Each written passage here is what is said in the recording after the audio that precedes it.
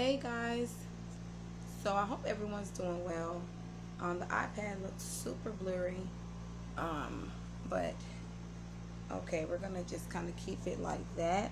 It looks a little blurry to me, but for the most part, as long as you can hear me, this is how we're gonna have to go with it, guys.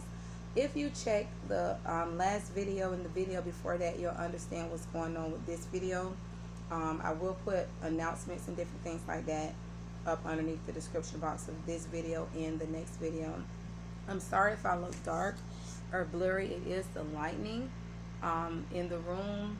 I only have two bulbs instead of three because I kind of don't like too much light like that. Um, it depends on where it is. But uh, we're going to get into Judges. We're going to start with Judges 9 because if you guys remember last week, I kind of like lost my voice and it was way worse. It's getting better you know it can still get better but it is getting a lot better. So what I'm going to do is I'm going to split up um, between Judges 9 to 21 within this video and the next video and we'll close out the book of Judges between those two videos. And if I have any videos any other videos besides Bible study this week I will come on I'm gonna let you guys know. I have a few ideas in mind but I'll just keep those in mind and just let the week go on and then I'll release it um, once it's time so I'm going to give you a sec to get your Bibles, your notebooks, or whatever you want to use if you want to take notes, only because we're reading a lot more um, in these two videos than we normally do. So I'll give you a second to get your Bible and whatever you want to write with. And go to Judges chapter 9 with me. I'm thinking that in this video, we're going to read Judges um, 9 through 15. And we'll study it, and you guys can tell me what you think and different things like that and then we'll do um, 16 through 21 in the second video up after this okay? And you guys let me know your thoughts. Let me know um, what you got out of it what you're getting out of it. I'll put which day it is for each. And don't mind my coughing because it's been helping as well so. So I'm going to give you guys a quick overview. I'm not going to go over the outline. Um, because we already went over the outline in day one, which we did last week. But I'm going to give you guys an overview of what we'll be reading about, okay, just so you understand. So Judges 9, we're going to be talking about Abimelech. Judges 10, we're going to be talking about Tola, Jair, and Jephthah. Judges 11 is going to be talking about some different things. Um, Judges 12, we're going to be talking about Jephthah and Ephraim. Judges 13, we're going to be talking about the birth of Samson. And if you guys remember, we did a, I don't want to say a video on Samson, but we, we kind of read this chapter and a few chapters regarding Samson, but it was with another video. Because uh, there were some other stories and notes that we talked about with that as well. Um, Judges 14, we're talking about Samson's marriage. And then we're going to end with 15 for this video, which is Samson's vengeance on the Philistines. So we have a lot more to cover um, this week. So let's start with um, thank you, Lord, for this Bible study time. May it be a blessing, Father God, to everybody that's listening. Father God, in Jesus' name we pray, amen. So Judges 9. And guys, um, I'm not sure if I can flip this so you guys can see it. But just read along with me in your Bible. I'm reading from the NIV. I'm open to all translations.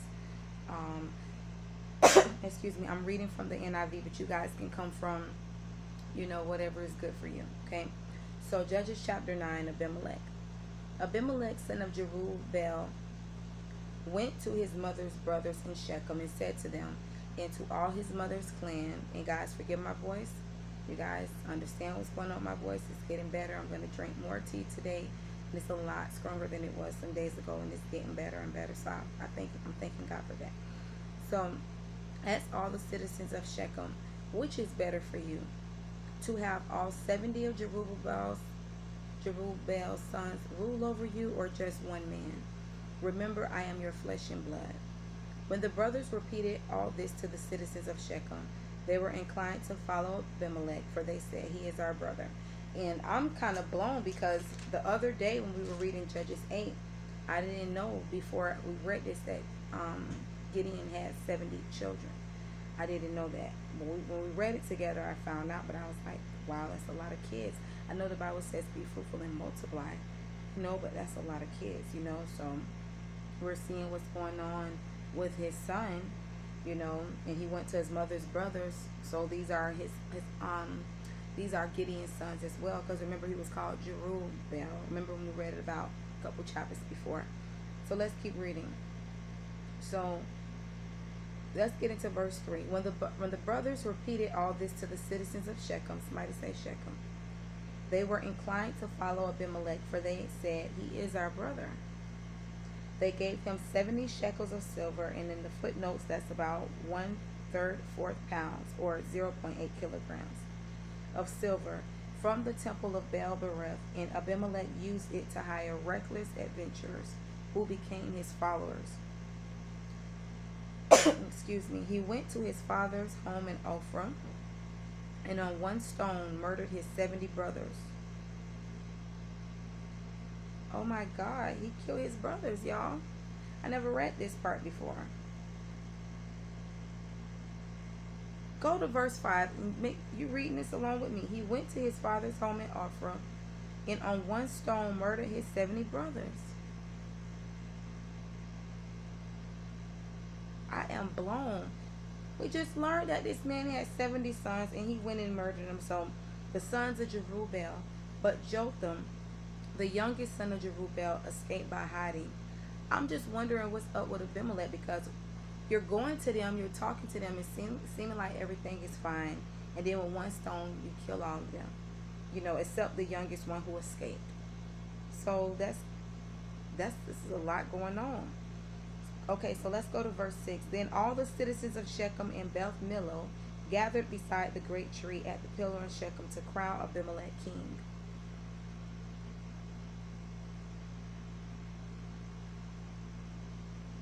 I'm just really wondering for real, what will possess him to do this?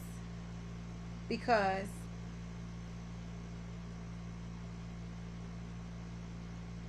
it seems like his brothers warned against him to me.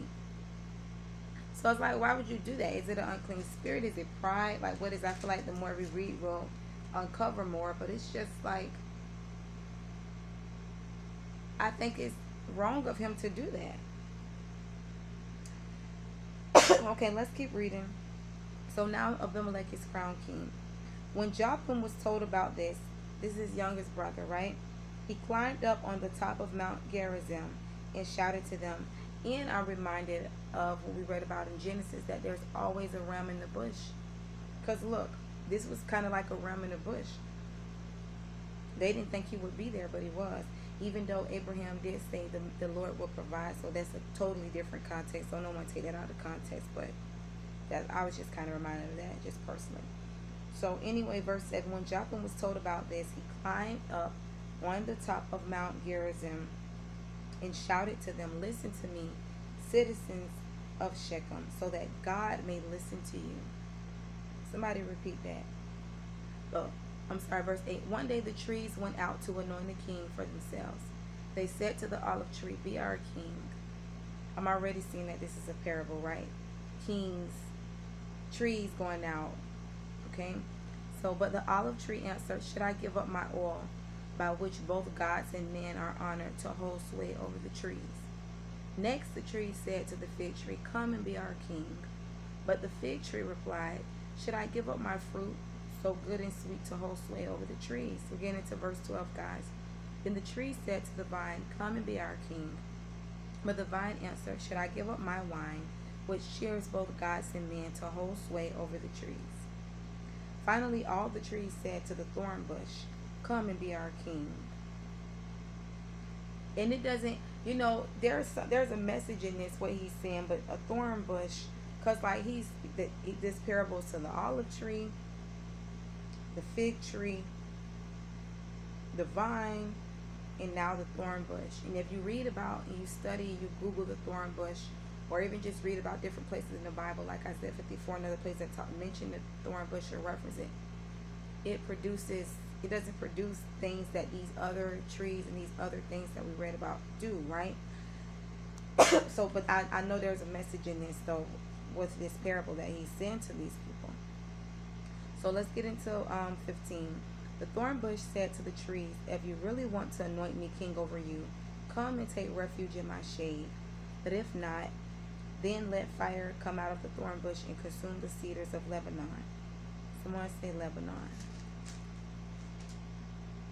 Now, if you have acted honorably and in good faith when you made Abimelech king, and if you have been fair to Jerubbaal and his family, and if you have treated him as he deserves, and to think that my father fought for you, risk is that's what I was just thinking about.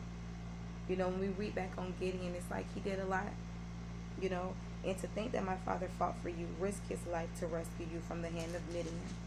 But today you have revolted against my father's family murdered his 70 sons on a single stone, and made Abimelech the son of his slave girl king over the citizens of Shechem, because he is your brother. If then you acted honorably and in good faith toward Jerubbaal and his family today, may Abimelech be your joy, and may you be his too. But if you have not, let fire come out from Abimelech and consume you, citizens of Shechem and Beth Millo, and let fire come out from you, citizens of Shechem in Beth Millo and consume Abimelech. So let's get into verse 21. okay. Then Jotham fled, escaping to Beer, and he lived there because he was afraid of his brother Abimelech. But you know what this is displaying to me?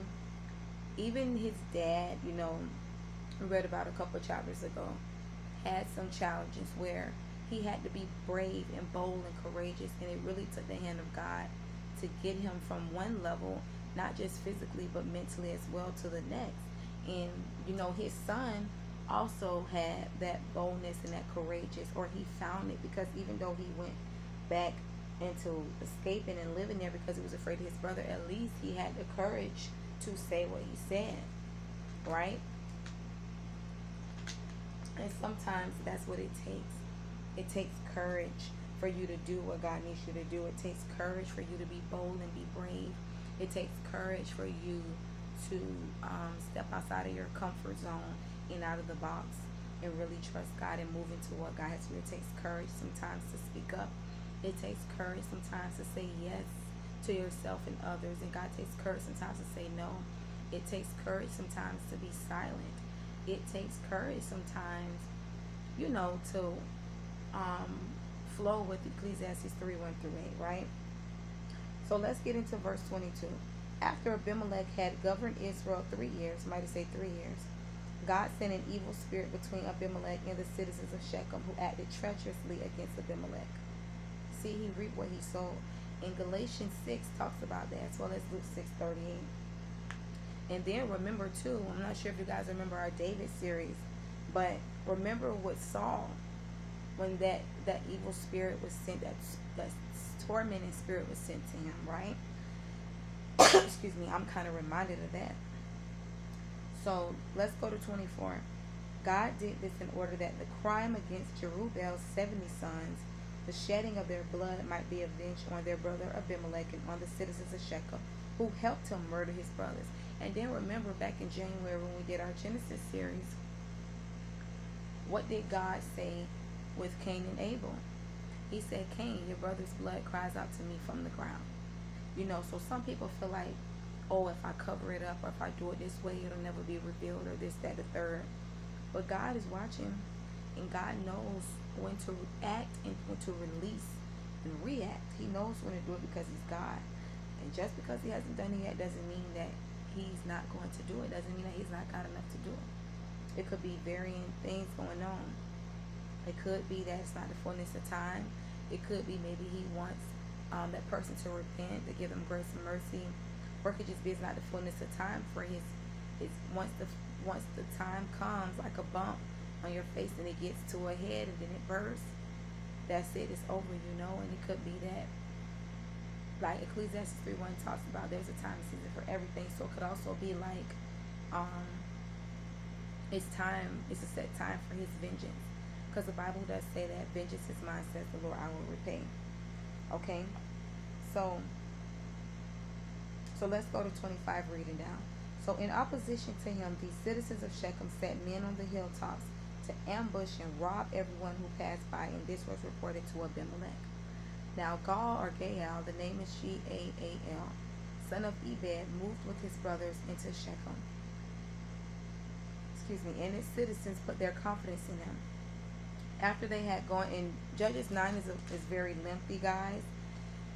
Excuse me, I didn't know it was this lengthy, but it's pretty lengthy, so we're just going to keep reading and, and bear along. So 27. So after they had gone out into the fields and gathered the grapes and trodden them, they held a festival in the temple of their God. While they were eating and drinking, they cursed Abimelech. Then Gaal said, I'm sorry, then Gaal, son of Ebed, said, Who is Abimelech and who is Shechem that we should be subject to him?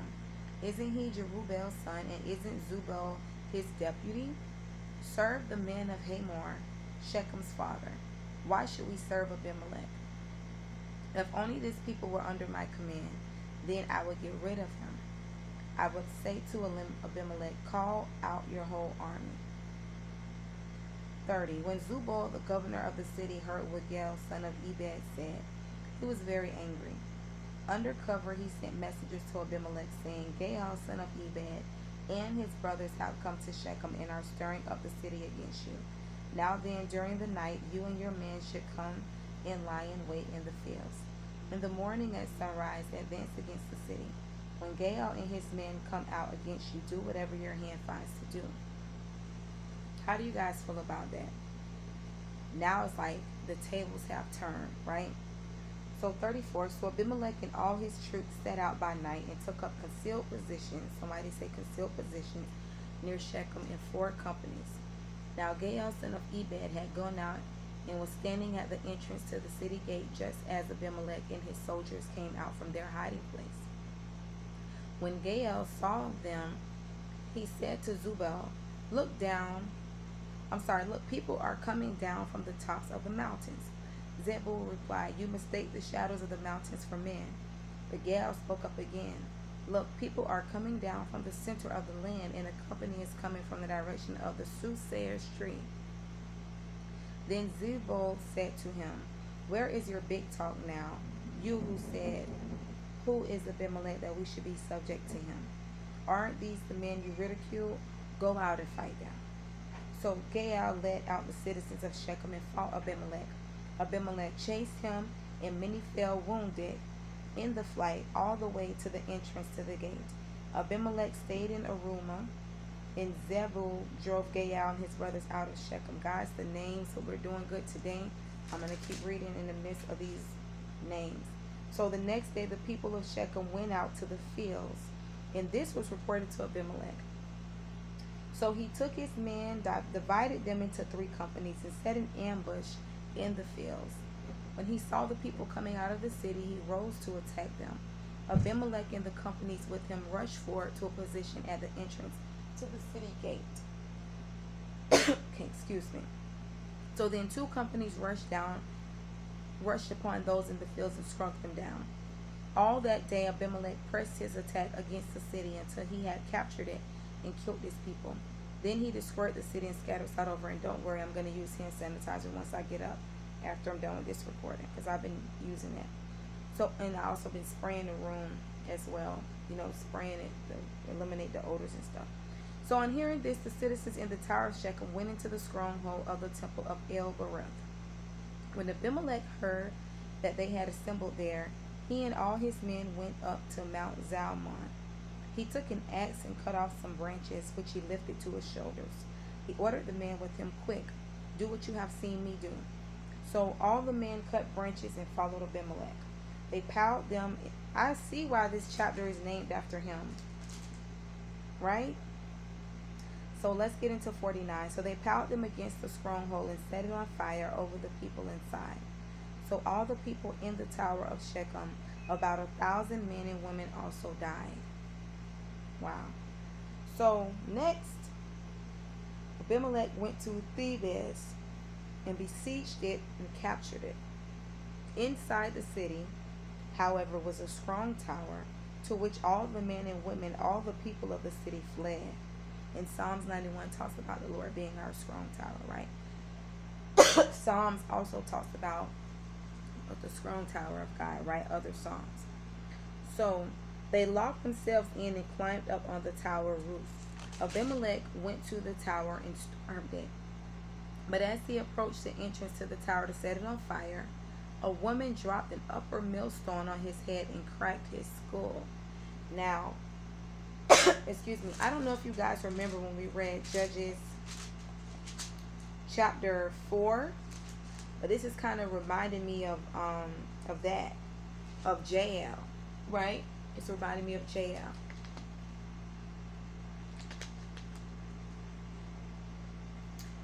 And what a crazy way to die. But it's like, I'm just reminded, you know, when Jesus said, um, those who live by the sword die by the sword with when they came to arrest him when it was his time and um, they were in the garden and the people came and judas betrayed him and peter took that sword and you know the person's ear. And then like even in the movies like and this is i'm just reminded of that because it's like he did all that evil to his brothers and to other people. And look how it happened for him you know? A mill uh, if you google and look up what a millstone is the woman was a woman dropped the upper millstone on his head and cracked his skull so let's close with 54 to 57 and we'll get into judges chapter 10 hurriedly he called to his armor bearer, Draw your sword and kill me, so that they can't say a woman killed me. And that's what Saul said too. Um, in battle when Jonathan killed himself. You know, he told his servant to kill him. But I don't think his servant had the courage to do it, and I think he ended up killing himself, if I'm not mistaken. So his servant ran him through, and he died.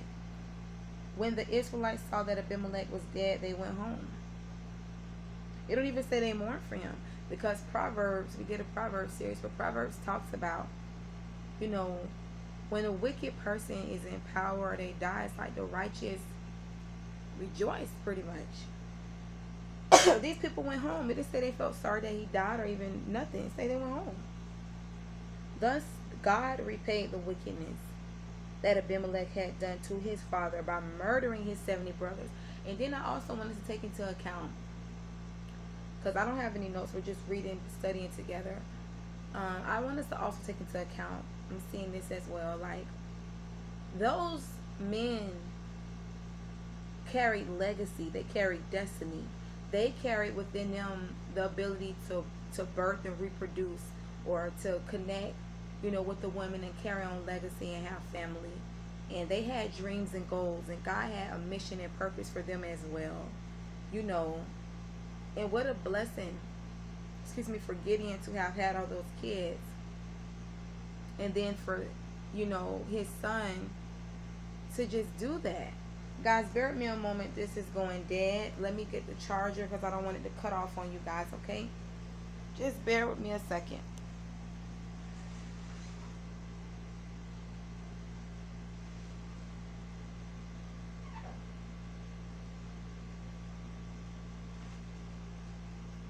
Okay, I got the charger.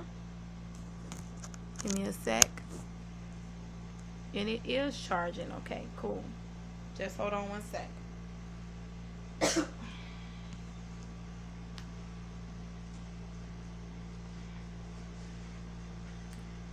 so, okay guys, it's on the charger. So let's keep going. So, Okay, so 57. God also made the men of Shechem pay for all their wickedness. The curse of Jotham, son of Jerubbaal, came on them. the one we read about, right? So, okay, cool. So, we're going to get into Judges 10 now. And it looks like Judges 10 is pretty short. 11 is a little lengthy. 12 is kind of short. Yeah, these are kind of be a little short, shorter. Okay, so chapter 10. And what do you guys think about Judges chapter 9? What do you guys think about our Judges series? What did you get out of chapter 9? Like, which character did you relate to the most? What did you think about all of it? Leave it in the comments or something. So, Judges 10. So, after the time of Abimelech, a man of Issachar, Tola, son of Pua, the son of Dodo, rose to save Israel and I'm not being disrespectful. So he lived in Shamir in the hill country of Ephraim. He led Israel 23 years. Then he died and was buried in Shamir. Okay, so that's Tola. It's not much about him, but he is referenced in here, right? So now we're going to talk about Jair. He was followed by Jair of Gilead, who led Israel 22 years. He had 30 sons who rode 30 donkeys.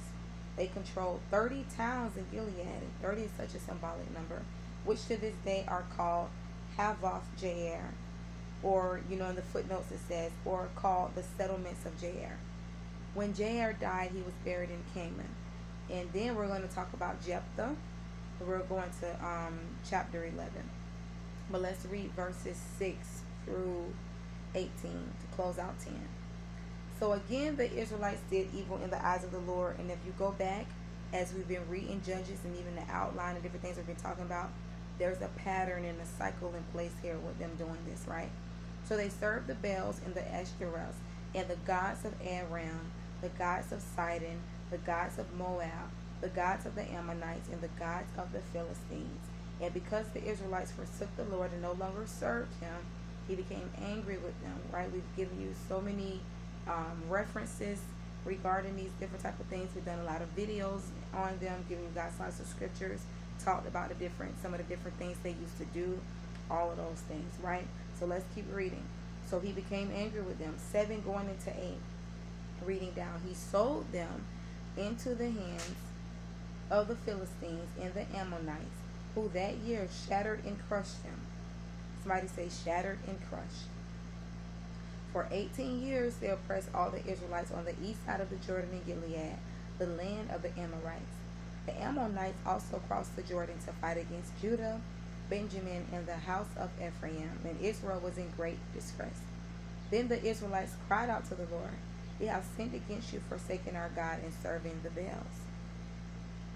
The Lord replied, When the Egyptians, the Amorites, the Ammonites, the Philistines, the Sidonians, the Amalekites, and the Maonites and it says Hebrew, some Septuagint manuscript says Midianites or the Maonites, right? Oppressed you and you cried to me for help. Did I not save you from their hands?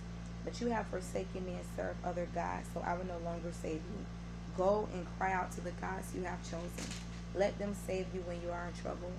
And you would feel like that. I would feel like that. We're human and someone just keeps constantly being in that cycle with us. We would feel like that we're always coming to the rescue and it's like how do you think God feels? And we've all been there where we've had idolatry and sinned against God, but it's like to keep on doing it, reading about him continuously doing it and consciously doing it, it's like excuse me, you know, that's very hurtful. So, um, but the Israelites said to the Lord, We have sinned. Do with us whatever you think best, but please rescue us now. Then they got rid of the foreign gods among them and served the Lord. And he could bear Israel's misery no long, no longer because he loves them just like he loves you, right?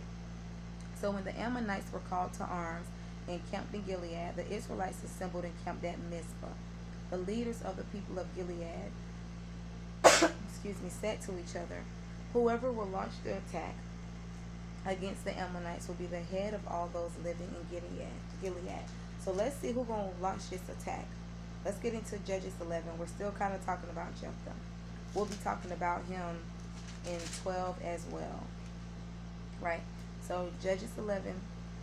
Jephthah the Gileadite, the Gilead, the Gileadite was a mighty warrior. His father was Gilead. His mother was a prostitute. Gilead's wife also bore him sons. And when they were grown up, they drove Jephthah away I remember we um did this. I don't know if you guys remember early last year, like February sometime I think. February last year, we did a 66 day Bible study challenge. Um, and it was so out of my comfort zone. Um, yeah, but we did a 66 day Bible study challenge and we went through each book in the Bible. And we did like a mini sermon on each, or we did a, where we read a scripture or a passage on each and we kind of talked about it however God was leading for that day. And we did it for 66 days straight. And um, we kind of came from this with Jephthah, with Judges 11. I forgot what it's called, but you can go back on there on that playlist and check it out.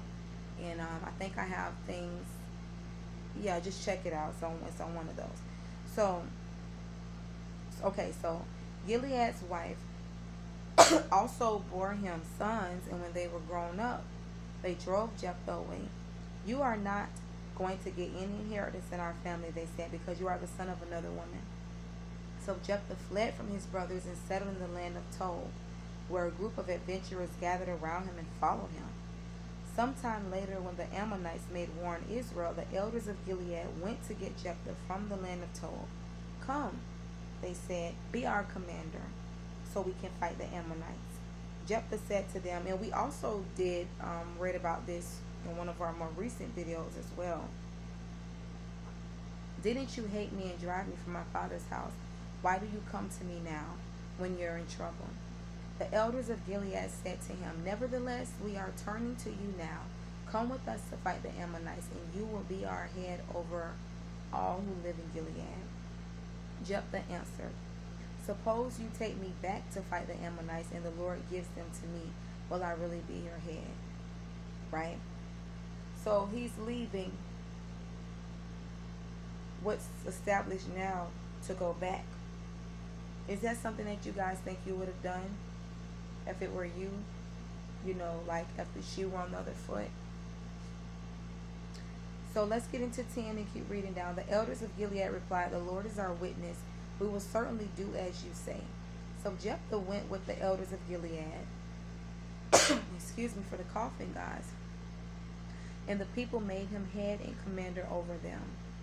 And he repeated all his words before the Lord in Mizpah. Somebody say Mizpah. Then Jephthah sent messengers to the Ammonite king with the question. We just gonna call him Jeph, okay? Because the names. We just gonna call him Jeph for short as we continue to read, okay? Okay, so what do you have against us that you have attacked our country? The king of the Ammonites answered Jeph's messengers. When Israel came up out of Egypt, they took away my land from the Arnon to the Jabbok, all the way to the Jordan. Now give it back peaceably. Jeph sent back messengers to the Ammonite king, saying, This is what Jeph says. Israel did not take the land of Moab or the land of the Ammon Ammonites. But when they came up out of Egypt, remember we read about that, right? Israel went through the desert to the Red Sea, or it says Yam Suph in Hebrew, that is Sea of Reeds in the footnotes, and on to Kadesh.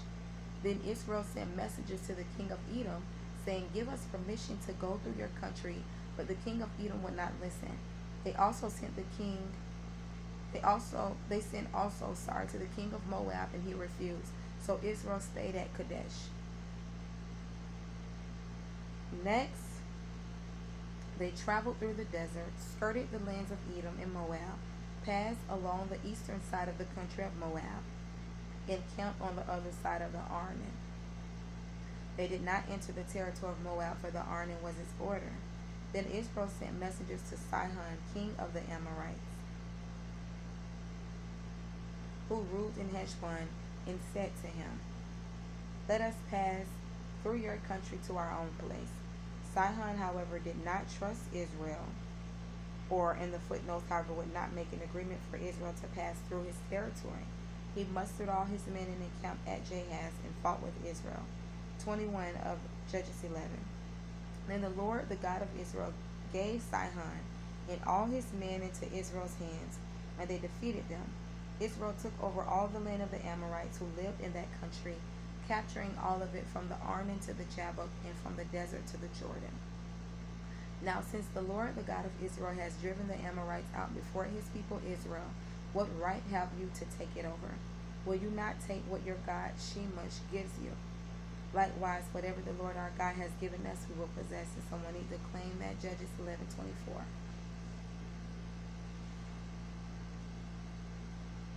Okay, 25. Are you better than Balak, son of Zippor, king of Moab? Did he ever quarrel with Israel or fight with them? For 300 years, Israel occupied Heshbon, Aroer, the surrounding settlements, and all the towns along the Arnon. Why didn't you retake them during that time? I have not wronged you, but you are doing me wrong by waging war against me. Has anyone ever gone through that? So let's keep reading. So let the Lord, the judge, or the ruler in the footnotes, decide the dispute this day between the Israelites and the Ammonites. the king of Ammon, however, paid no attention to the message Jephthah sent him. Then the Spirit of the Lord came upon Jephthah. He crossed Gilead and Manasseh, passed through Mizpah of Gilead, and from there he advanced against the Ammonites. What's that, guys? And Jephthah made a vow to the Lord If you give the Ammonites into my hands, whatever comes out of the door of my house to meet me when I return in triumph from the Ammonites will be the Lord's, and I will sacrifice it as a burnt offering. That's a very powerful vow to make. We talked about it before. But that's a powerful vow to make. So then Jephthah went over to fight the Ammonites, and the Lord gave them into his hands. He devastated 20 towns from Aroer to the vicinity of Minnith as far as Abel Keramim. Thus Israel subdued Ammon. When Job returned to his home in Mizpah, who should come out to meet him but his daughter, dancing to the sound of tambourines? She was an only child. Except for her, he had neither son nor daughter. In the Bible has that there for us for emphasis because remember the vow that he just made a couple verses before, right? So when he saw her, he tore his clothes and cried, Oh, my daughter, you have made me miserable and rich because I have made a vow to the Lord that I cannot break. My father, she replied, You have given your word to the Lord. Do to me just as you promised, now that the Lord has avenged you of your enemies, the Ammonites. But grant me this one request. She said,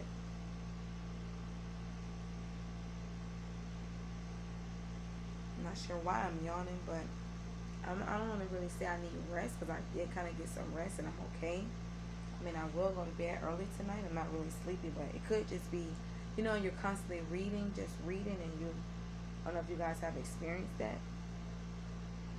Okay, so let's go to um, 37. But grant me this one request, she said. Give me two months to roam the hills and weep with my friends because I will never marry you may go. And not only, I'm just thinking, thank you, Holy Spirit, not only will she not marry, she's not going to have kids. She's not going to be able to fulfill her goals and purpose.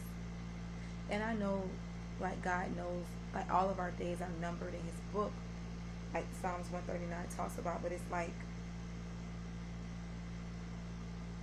it's just so weird because the way that she died, you know? And that's like um, Abraham and Isaac when he could have been like a sacrifice, there was a ram in the bush, God was just testing him. But with this, this girl literally has to die as a burnt offering, alive. wow. So 38, you may go, he said, and he let her go for two months. And imagine the pain and the grief that's going in her mind and through her heart and through his mind and heart. You know, this is a very sensitive yet traumatic situation.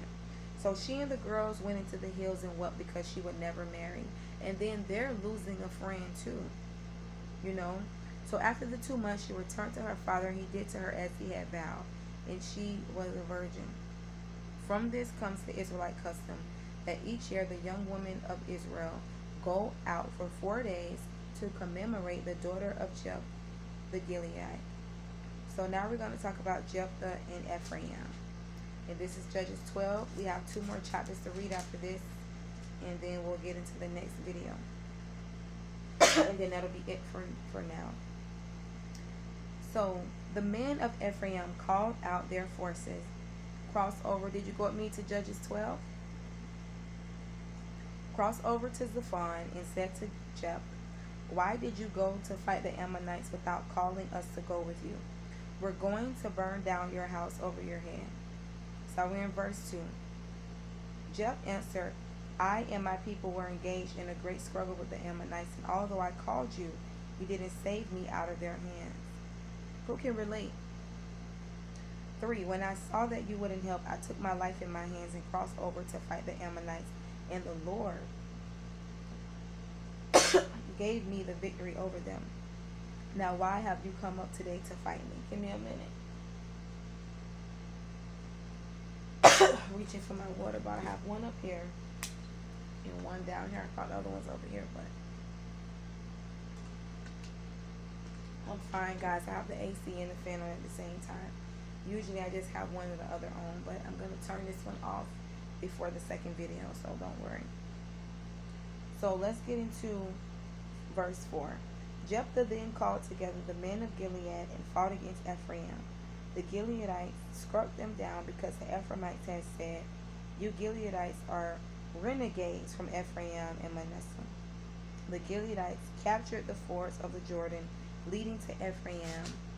And whenever a survivor of Ephraim said, Let me cross over, the men of Gilead asked, Are you an Ephraimite? If he replied, No, they said, All right, say Shibboleth. what is Shibboleth and what does Shibboleth mean? Listen to this. If he said Shibboleth because he could not pronounce the word correctly, they seized him and killed him at the fords of the Jordan. 42,000 Ephraimites were killed at that time. Jeph led Israel six years. Then Jeph the Gileadite died and was buried in the town in Gilead. So let's close out 12 and then we'll get into 13. Ibzan, Elon, and Abdon. And some of these that we kind of talked about or, you know, read before or did some videos on before, I really didn't want to reread. Like, I didn't want to reread about um, Jephthah or um, Samson because we read about Samson. But there may be some people that are new watching. Uh, maybe you didn't catch those other videos or Bible studies series. So I just want to read all of it in its entirety. So you know, we followed along and you guys got the complete Bible study. The only one I don't think I read was um, the two about um, Deborah and Deborah's song because we just recently did those like last week. So that's more recent. Okay, so again, the Israelites did evil in the eyes of the Lord. I'm sorry, just skip to verse 13. Let's go back to verse 8 of Judges 12. Bear with me. So after him is Ibzan of Bethlehem led Israel.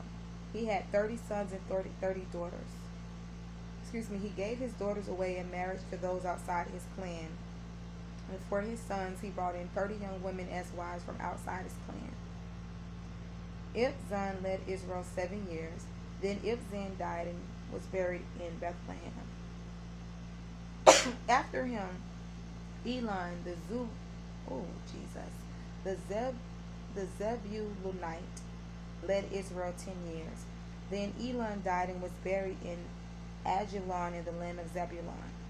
After him, Abdon, son of Hillel from Pirathon, led Israel. He had 40 sons and 30 grandsons. So these people are really having a lot of kids, you see, who rode on seven, 70 donkeys, like seven zero donkeys. He led Israel eight years. Then Abdon, son of Hillel died and was buried at Pirathon in Ephraim in the hill country of the Amalekites.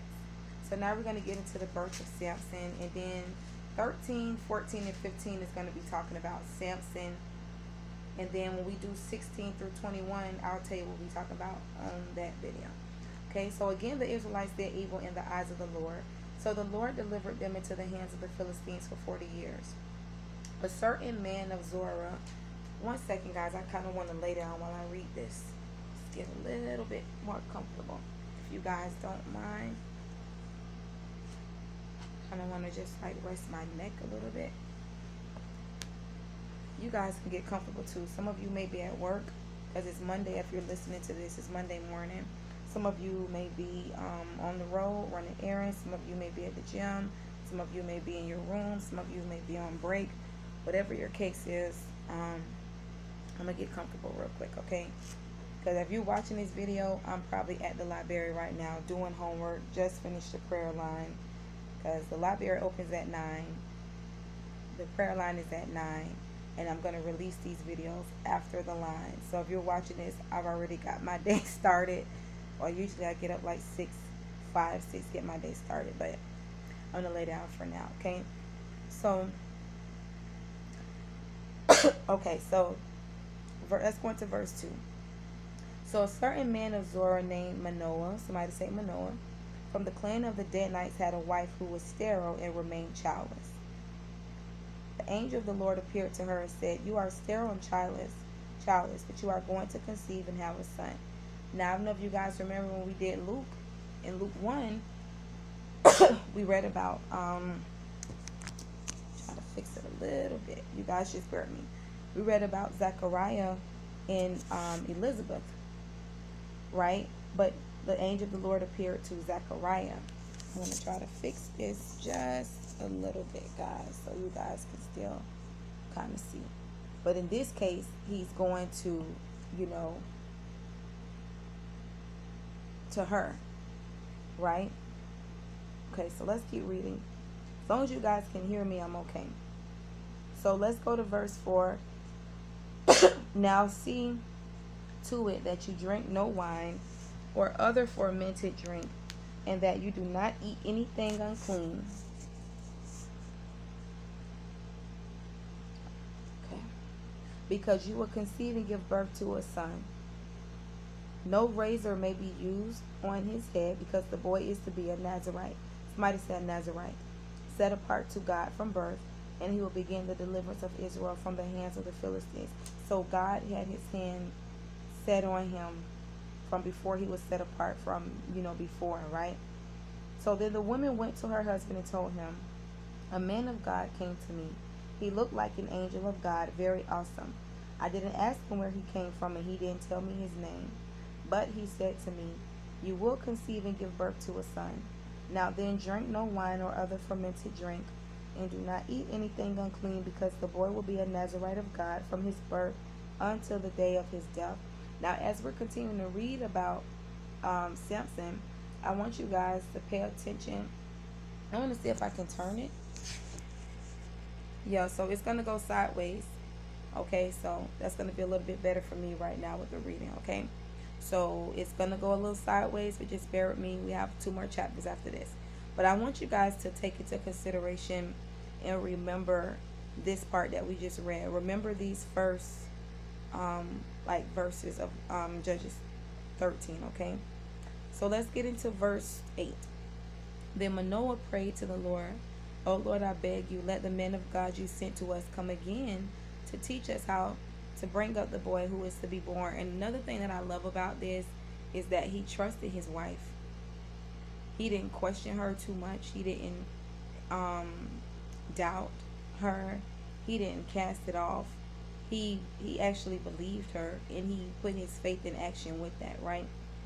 So verse 9 god heard manoah and the angel of god came again to the woman while she was out in the field but her husband manoah was not with her. The woman hurried to tell her husband he he's here the man who appeared to me the other day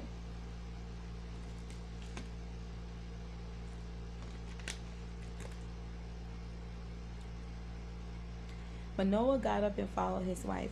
When he came to the man, he said, Are you the one who talked to my wife? I am, he said. And for people that feel like God don't answer prayer, God has different ways that he answers prayer. There's some prayers that he's going to answer and some he's not. There's some you're going to thank God that he did answer, some you're going to be grateful to God that he didn't. And then there's some things that God is going to do that we don't understand. But I love the way that God showed himself strong, you know, and, and answered this prayer request for them and had this manifestation happen for them. Like this encounter. You know, I think that's so wonderful. So let's go to verse 12. So Manoah asked him, when when your words are fulfilled, what is to be the rule for the boy's life and work? the angel of the Lord answered, Your wife must do all that I have told her. She must not eat anything that comes from the grapevine, nor drink any wine or other fermented drink, nor eat anything unclean. She must do everything I have commanded her. Manoah said to the angel of the Lord, We would like you to stay until we prepare a young goat for you. Right? That's like hospitality and kindness as well.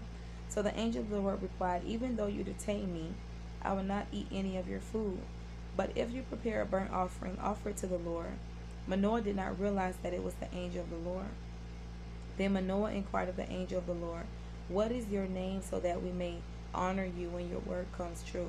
And then also remember, um, like back in Genesis when we were reading, with Sodom and Gomorrah. They didn't come looking like angels. they came looking like men. but they were angels. So let's go to verse 18. He replied, Why do you ask my name? It is beyond understanding. And then in the footnote says, Or is wonderful. Then Manoah took a young goat together with the grain offering and sacrificed it on the rock to the Lord. And the Lord did an amazing thing while Manoah and his wife watched. As the flame blazed up from the altar toward heaven, the angel of the Lord ascended in the flame. Now, if you were Manoah and and his wife, how would you feel if you are experiencing all of this? You're sterile, you're being told you're gonna have a child. You're being told the purpose and destiny of this child. You're being you're you're being shown all this. You pray and God answers your prayer request, and then this angel goes up in this flame. How just how would you feel? Oh, and don't forget, you don't even know that it's an angel. So, seeing this, Manoah and his wife fell with their faces to the ground. When the angel of the Lord did not show himself again to Manoah and his wife, Manoah realized that it was the angel of the Lord. We are doomed to die. And if you go through scripture, so many of them see it because back in those days and times, it's like to experience um, that type of encounter from heaven and from the Lord it was a blessing because it was rare. Even though God did speak through his prophets and different people, it was different back then from like how it is now, the Holy Spirit and different things like that. Even though the Lord did allow some people back then to experience the Holy Spirit or he walked a little bit deeper and closer with them than some of the others. Um, that's a different kind of video, so I don't want to go off in a tangent with that, but it was like a blessing and a privilege to see it. Um, even like Isaiah, you know, when the angel had to take the coals and put over his mouth or put over him, because you know he said, "Woe is me! You know, I'm a man of unclean lips, and I come from you know people from were unclean lips." So it's like an honor. All this coughing, guys. So, so 22. We are doomed to die. He said to his wife, "We have seen God." But his wife answered, If the Lord had meant to kill us, he would not have accepted a burnt offering and grain offering from our hands, nor shown us all these things, or now told us this. See, that's that wisdom, right? 24. The woman gave birth to a boy, and that's what's coming to me, Proverbs. He that finds a wife obtains favor from the Lord, finds favor from the Lord, right? That he who finds a wife finds a good thing and obtains favor from the Lord, right? So the woman gave birth to a boy and named him Samson. He grew, and the Lord blessed him, and the Spirit of the Lord began to stir him while he was in Mahaneh Dan between Zorah and Eshtaol. Okay. so let's go to Judges 14. Samson's marriage. Samson went down to Timnah and saw there a young Philistine woman when he returned, he said to his father and mother, I have seen a Philistine woman in Timnah. Now get her for me as my wife. His father and mother replied, Isn't there an acceptable woman among your relatives or among all our people? Must you go to the uncircumcised Philistines to get a wife? But Samson said to his father, Get her for me. She's the right one for me. His parents did not know that this was from the Lord who was seeking an, seeking an occasion to confront the Philistines. Excuse me, for at that time they were ruling over Israel. Samson went down to Timnah together with his father and mother. As they approached the vineyards of Timnah, suddenly a young lion came roaring toward him. Excuse me. That's what it is. All the reading nonstop. Like when you don't breathe like breathe breathe between the oxygen in your brain. That's what's okay so let's keep reading. But i'm okay. Let's keep going on. So five samson went down to timnah together with his father and mother. As they approached the vineyards of timnah suddenly a young lion came roaring toward him the spirit of the lord came upon him in power so that he tore the lion apart with his bare hands as he might have torn a young goat but he told neither his father nor his mother what he had done. Then he went down and talked with the woman, and he liked her. Some time later, when he went back to marry her, he turned aside to look at the lion's carcass. In it was a swarm of bees and some honey, which he scooped out with his hands and ate as he went along. When he rejoined his parents, he gave them some, and they too ate it. But he did not tell them that he had taken the honey from the lion's carcass. Now his father went down to see the woman, and Samson made a feast there, as was customary for bridegrooms. When he appeared, he was given thirty companions. Let me tell you a riddle, Samson said to them. If you can give me the answer within the seven days of the feast, I will give you thirty linen garments and thirty sets of clothes.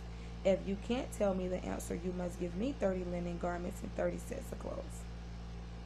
Tell us your riddle, they said. Let's hear it. He replied, Out of the eater something to eat, out of the strong something sweet. For three days they could not give the answer. Pay attention to this. Verse 15, reading down.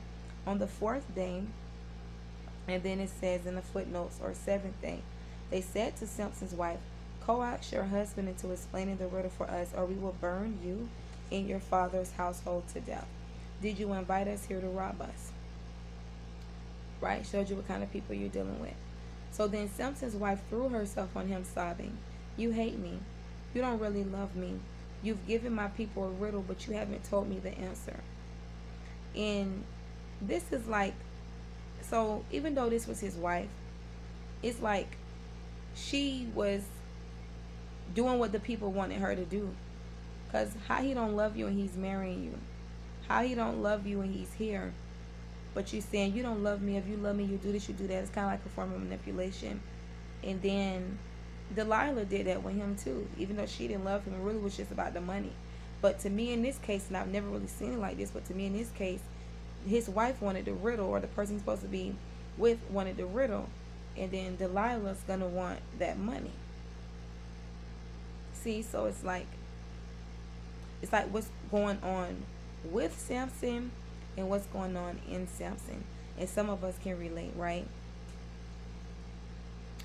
So she said, You hate me. You don't really love me. You've given my people a riddle, but you haven't told me the answer. I haven't even explained it to my father or mother. He replied, He like, What is up with you? He didn't say this, but I was just so why should I explain it to you? She cried the whole seven days of the feast. So on the seventh day, he finally told her because she continued to press him. Who's pressing you today? Who's pressing you? She in turn explained the riddle to her people. Before sunset on the seventh day, the men of the town said to him, What is sweeter than honey? What is stronger than a lion? Samson said to them, If you had not plowed with my heifer, you would not have solved my riddle.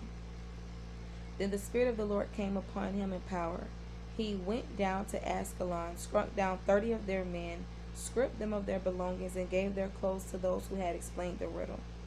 Burning, oh my, burning with anger, he went up to his father's house, and Samson's wife was given to the friend who had attended him at his wedding. Homeboy, got her. Let's close with Judges 15, guys. Later on, at the time of wheat harvest, Samson took a young goat and went to visit his wife. He said, I'm going to my wife's room, but her father would not let him go in. I was so sure you thoroughly hated her, he said, that I gave her to your friend.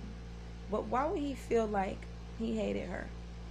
What would possess him to think that he hated her? Or is he just not owning up to something? Watch this Laban's spirit. Isn't her younger sister more attractive? Take her instead. Samson said to them, This time I have a right to get even with the Philistines. I will really harm them. So he went out and caught 300 foxes. We've talked about this before, how very crazy this was and what a temper or passion or whatever he had going on to do this. He went out and caught 300 foxes. 300 foxes. 300 foxes, think about it, and tied them tail to tail in pairs. He then fastened a torch, torch has lightning on it, to every pair of tails, lit the torches, and let the foxes loose in the standing grain of the Philistines. He burned up the shocks and standing grain together with the vineyards and olive groves. So that represents business, that represents their livelihood, they needed those olives. They needed that grain to feed their family.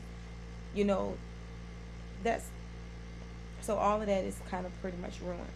So let's get into verse 6 reading down. When the Philistines asked who did this, they were told Samson the Timnite's son in law, because his wife was given to his friend.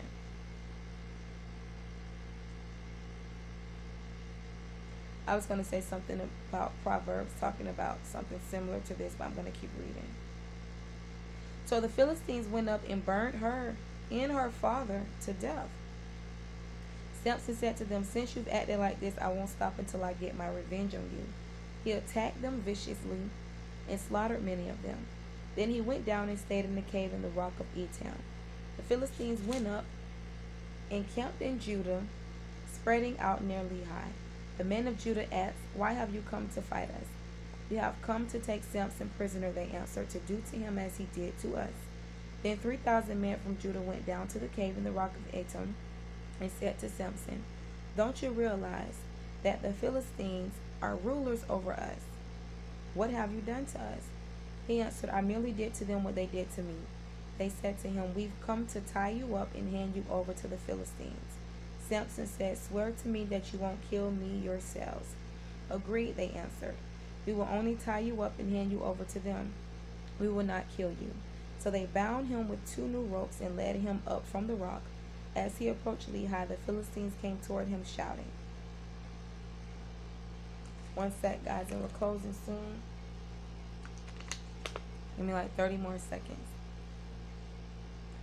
The Spirit of the Lord came upon him in power. The ropes on his arms became like charred flax, and the bindings dropped from his hands. Finding a fresh jawbone of a donkey, he grabbed it and struck down a thousand men. Then Samson said, But the donkey's jawbone, I have made donkeys of them. But the donkey's jawbone, I have killed a thousand men. But notice he's not giving no glory to God, whose spirit came on him in order that he could do that. So let's close with 17 through 20, and then you guys could check out the next video after this so that we can um, read and close out Judges 16 through 21. So when he finished speaking, he threw away the jawbone, and the place was called Ramath Lehi, and that means jawbone hill. So because he was very thirsty, he cried out to the Lord, You have given your servant this great victory. Okay, he's glorifying God with this. Must I not die of thirst and fall into the hands of the uncircumcised? Then God opened up the hollow place in Lehi, and water came out of it. When Samson drank, his strength returned and he revived. So the spring was called En Hakkore, which means caller spring, and it is still there in Lehi. Samson led Israel for 20 years in the days of the Philistines, or in the Bible says, or he judged. And you guys, I hope that you enjoyed this Judges 9 through 13. Let me know your thoughts in the comments section what you got out of it. See you guys in the next video.